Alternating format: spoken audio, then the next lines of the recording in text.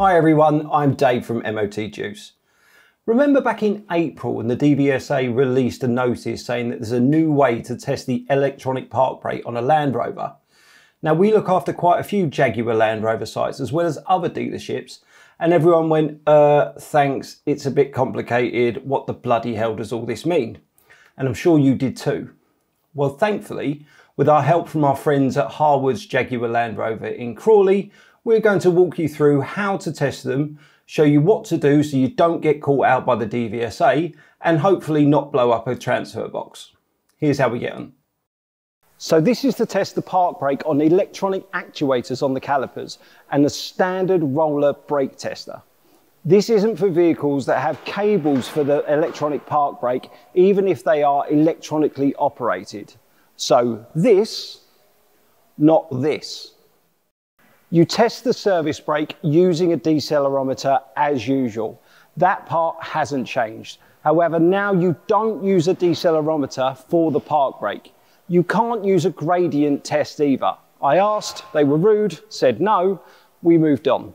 Okay, so it depends on what the features of the car are that you're testing determines how you test it. First off, we're going to look for the process for the rotary type of gear selector that's usually on a Discovery Sport. The process is the same for vehicles with the fighter pilot type gear stick that you'll find on a full fat Range Rover or a Velar from around 2018. First off, you have to put the roller brake tester into manual mode. Don't use the automatic test program. You'll break the transfer box. Now there are lots of different roller brake testers out there and they're all different. So you need to figure out how to stick your one into manual mode first. You may need an assistant to help you run the program, but it depends on the type of machine that you have. Once you put it into manual mode, pop the rear wheels in the roller. Make sure the doors are shut and you don't have the seatbelt on.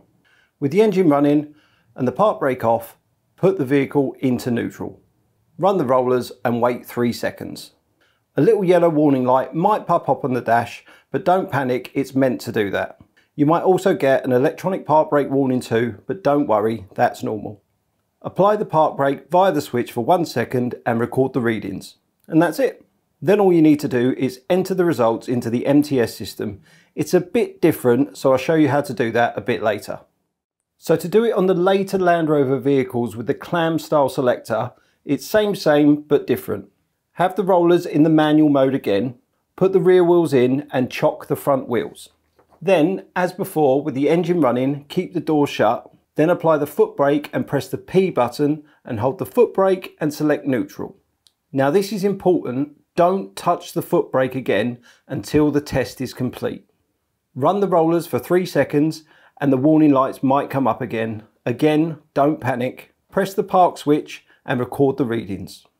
Now it's time to enter the results of the brake test into the MTS system and it's a bit different. When you go to the MTS to enter your test results, under brakes there's a couple of options. What you want to do is on the service brake, select the decelerometer and enter the readings from your decelerometer test. Then under that in the park brake, select the roller brake tester and enter the readings from your roller brake tester test. That's it, you're sorted.